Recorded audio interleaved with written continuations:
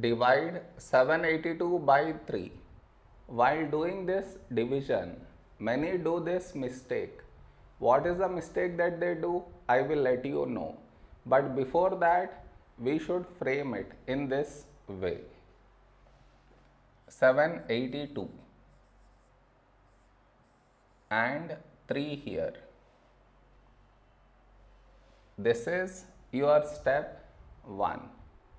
Next, here we have 7 and here 3. A number close to 7 in 3 table is 3 2's 6.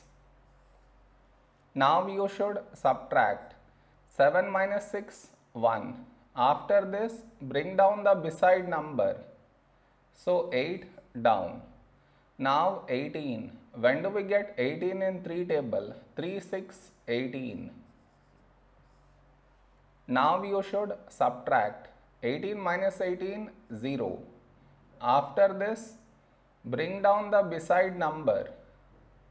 So 2 down. After this step the mistake happens and the mistake is this. Here we have 2 and here 3. 2 is smaller than 3. So what many do is they directly put a dot and take 0 which is wrong. Why is it wrong? Because just now you brought this number down and in the same step you want to put a dot and take 0 which is wrong.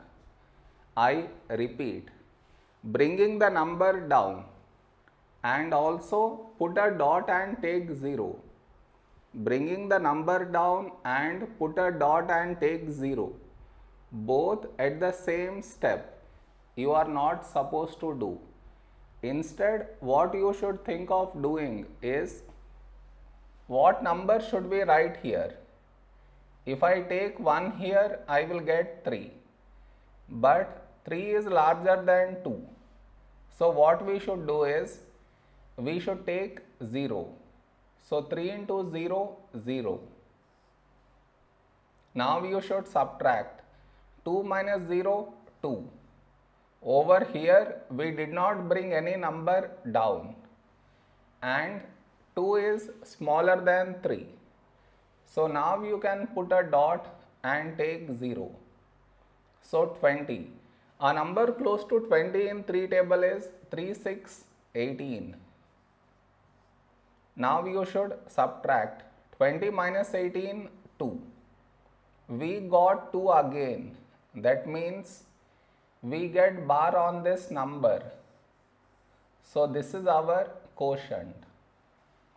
Did you understand where the mistake happens? You should not do that mistake